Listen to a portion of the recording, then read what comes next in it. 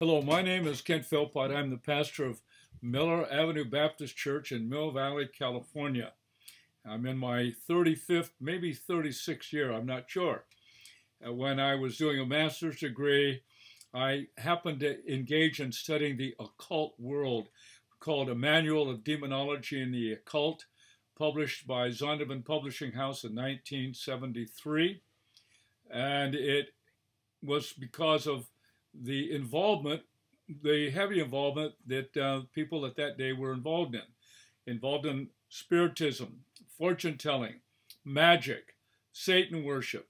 And one of the main things that happened during that period was uh, the release of the film The Exorcist. It was a true story about a Roman Catholic priest who engaged in exorcism with a young uh, teenage girl who had become demonically possessed because of her involvement with the Ouija board. This is all about a Ouija board or the talking board or the flat board.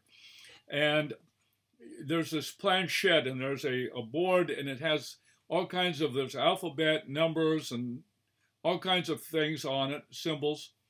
And uh, you'd ask a question and the thing would answer, give you some answers.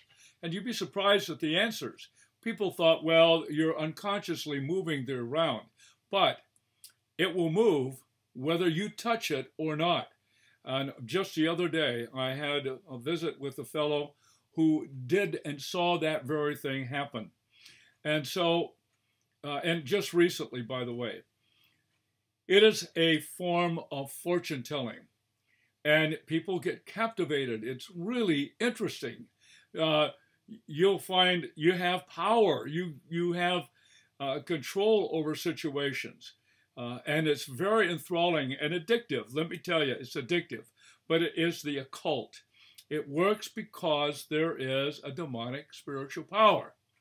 Uh, that is just the way it has been uh, for very long periods in human history. Now you wonder why I would be against uh, finding out about things about the future. Well, your involvement with that becomes very dangerous. Demonic spirits are involved in this, and you will become eventually demonized, demon possessed.